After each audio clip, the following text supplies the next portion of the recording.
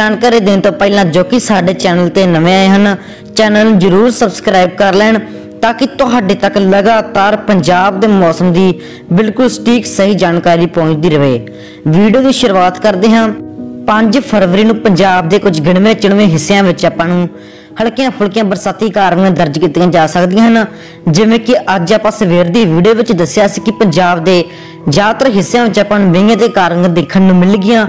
ਬਿਲਕੁਲ ਉਸੇ ਤਰ੍ਹਾਂ ਹੀ ਪੰਜਾਬ ਦੇ ਜ਼ਿਆਦਾਤਰ ਹਿੱਸਿਆਂ ਵਿੱਚ ਆਪਾਂ ਨੂੰ ਹਲਕੇ ਤੋਂ ਲੈ ਕੇ ਦਰਮਿਆਨੇ ਪੱਧਰ ਤੱਕ ਦਾ ਮੀਂਹ ਦਰਜ ਕੀਤਾ ਗਿਆ ਹੈ।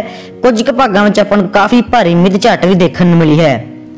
ਇਸ ਪੱਛਮੀ ਸਿਸਟਮ ਦਾ ਪ੍ਰਭਾਵ ਆਪਾਂ ਨੂੰ 5 ਫਰਵਰੀ ਨੂੰ ਵੀ ਦੇਖਣ ਨੂੰ ਮਿਲੇਗਾ। ਸਵੇਰ ਦੇ ਪਹਿਲੇ ਘੰਟੇ ਦਰਮਿਆਨ ਪੰਜਾਬ ਦੇ ਕੁਝ ਪਹਾੜਾਂ ਦੇ ਨਾਲ ਲੱਗਦੇ ਇਲਾਕੇ ਹੋਣਗੇ, ਜਿਵੇਂ ਐਸਐਸ ਨਗਰ, ਚੰਡੀਗੜ੍ਹ, ਮਹਾਲੀ ਤੱਕ ਦੇ ਇਲਾਕੇ। ਇਸ ਤੋਂ ਇਲਾਵਾ ਹੁਸ਼ਿਆਰਪੁਰ ਦੇ ਕੁਝ ਅੰਮ੍ਰਿਤਸਰ ਦੇ ਭਾਗ ਹੋਣਗੇ, ਗੁਰਦਾਸਪੁਰ ਤੱਕ ਦੇ ਇਲਾਕੇ। ਇਹਨਾਂ ਭਾਗਾਂ ਵਿੱਚ ਆਪਾਂ ਨੂੰ ਹਲਕੀਆਂ ਫੁਲਕੀਆਂ ਬਰਸਾਤੀ ਕਾਰਨ ਦਰਜ ਕੀਤੀਆਂ ਜਾ ਸਕਦੀਆਂ ਹਨ। ਕਿਸੇ ਵੀ ਇਲਾਕੇ ਵਿੱਚ ਆਪਾਂ ਨੂੰ 5 ਫਰਵਰੀ ਨੂੰ ਭਾਰੀ ਮੀਂਹ ਦੇ ਬਿਲਕੁਲ ਵੀ ਅਸਾਰ ਨਹੀਂ ਹਨ ਤੇ 10 11 ਵਜੇ ਤੋਂ ਬਾਅਦ ਜ਼ਿਆਦਾਤਰ ਹਿੱਸਿਆਂ ਵਿੱਚ ਆਪਾਂ ਨੂੰ ਤਿੱਖੀ ਧੁੱਪ ਦੇਖਣ ਨੂੰ ਮਿਲੇਗੀ। 6 ਤੋਂ 10 ਫਰਵਰੀ ਦੀ ਗੱਲ ਕਰੀਏ ਤਾਂ ਇਹਨਾਂ 4 ਦਿਨਾਂ ਦਰਮਿਆਨ ਪੰਜਾਬ ਦਾ ਮੌਸਮ ਆਪਾਂ ਨੂੰ ਲਗਭਗ ਸਾਫ਼ ਦੇਖਣ ਨੂੰ ਮਿਲੇਗਾ।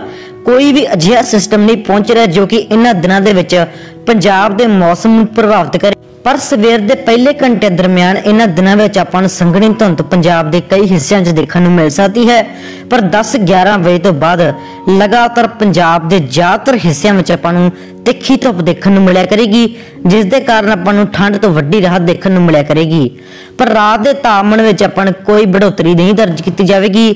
4 ਤੋਂ ਲੈ ਕੇ 5 ਡਿਗਰੀ ਤੱਕ ਤਾਪਮਾਨ ਰਾਤ ਦਾ ਬਣਿਆ ਰਹੇਗਾ, ਜਿਸ ਦੇ ਕਾਰਨ ਰਾਤ ਵਿੱਚ ਆਪਾਂ ਨੂੰ ਕਾਫੀ ਠੰਡਕ ਮਹਿਸੂਸ ਕੀਤੀ ਜਾ ਸਕਦੀ ਹੈ।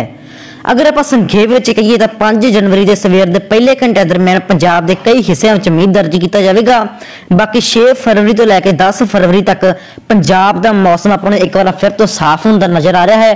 ਹਾਲਾਂਕਿ ਟੁੱਟਵੀਂ ਬੱਦਲਵਾਈ ਦਾ ਆਉਣ ਜਾਣ ਇੱਕਾ ਦੁੱਕਾ ਭਾਗਾਂ ਵਿੱਚ ਆਪਾਂ ਨੂੰ ਦੇਖਣ ਨੂੰ ਮਿਲੇਗਾ ਤੇ ਤਿੱਖੀ ਧੁੱਪ ਲਗਾਤਾਰ ਪੰਜਾਬ ਵਾਸੀਆਂ ਨੂੰ ਆਉਂਦੇ ਦਿਨਾਂ ਦਰਮਿਆਨ ਦੇਖਣ ਨੂੰ ਮਿਲਦੀ ਰਹੇਗੀ।